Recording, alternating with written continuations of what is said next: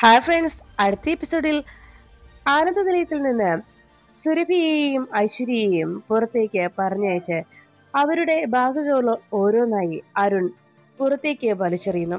സിറ്റൗട്ടിൽ നിന്ന് സങ്കടപ്പെടുന്ന സുരഭിയുടെയും ഐശ്വര്യയുടെയും മുന്നിലേക്ക് കുറെ ആക്രസാധനവുമായി വന്നിട്ടുണ്ട് എന്ന് പറഞ്ഞ് അരുൺ ഓരോ ബാഗുകളും വലിച്ചെറിയുമ്പോൾ സുരഭിയും ഐശ്വര്യയും ഓരോ ബാഗുകളുടെ എണ്ണം എടുത്ത് ഇനി നമ്മൾ എവിടേക്ക് പോകുമെന്ന് പരസ്പരം നോക്കി എങ്ങനെയും ആനന്ദ നിലത്തിലേക്ക് തിരിച്ചു കയറാനുള്ള അടുത്ത പദ്ധതി എന്തെന്ന് തലപുകഞ്ഞ് ആലോചിക്കുന്നു.